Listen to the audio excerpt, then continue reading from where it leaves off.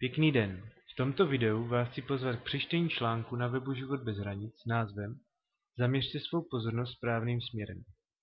Určitě se ptáte, který je ten správný směr.